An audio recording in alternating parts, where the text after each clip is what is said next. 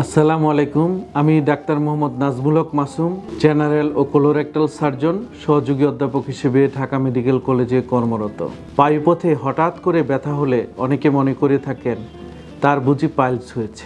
সর্বসাধারণের জ্ঞাতার্থে আমি বলতে চাচ্ছি পায়ুপথে হঠাৎ করে ব্যথা কিন্তু পাইলসের জন্য হয় না। পায়ুপথে হঠাৎ করে ব্যথার কারণগুলি হচ্ছে কারও যদি পায়ুপথে হঠাৎ করে ফোড়া বা অ্যাপসেস হয়ে থাকে, সেই ক্ষেত্রে ব্যথা হতে পারে।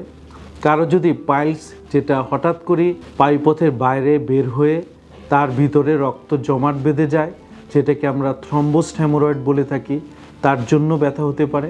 পায়ুপত্রা হঠাৎ করে যদি ফেটে যায়, যেটাকে আমরা অ্যানাল ফিশার বলে থাকি, তার জন্য ব্যথা হতে পারে। কারও যদি র্যাকটামে ক্যান্সার হয়ে সেটা অ্যাডভান্স হয়ে যায় সেই ক্ষেত্রেও পায়ুপথে ব্যথা অনুভব করতে পারে। এটা ছাড়াও কারও যদি দেখা যায় প্রোকটালজিয়া হয়েছে, তার জন্য পায়ুপথে ব্যথা হতে পারে। এই কারণগুলি হচ্ছে সাধারণত পায়ুপথে ব্যথার কারণ। পায়ুপথে ব্যথা হলে অনেকে বাসায় বসে থাকেন।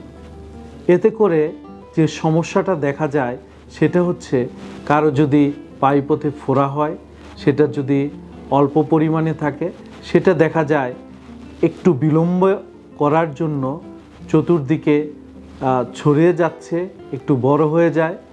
সেই ক্ষেত্রে যথাসময়ে পাইপথের অ্যাপসেসের যদি অপারেশন না করি, সেই ক্ষেত্রে ফোর্নিয়ার্স গ্যাংগ্রিন হতে পারে। অর্থাৎ যেই ফোড়াটা হয়েছে, সেটা পায়ুপথ সহ তলপেটের নিচের অংশ, অন্ডকোষ পর্যন্ত ছড়িয়ে যেতে পারে। আবার এই ফোড়াটা ফেটে যে পুঁজ বের হয়ে যেতে পারে, যেটা নাকি পরবর্তীতে ফিস্টুলা হতে পারে।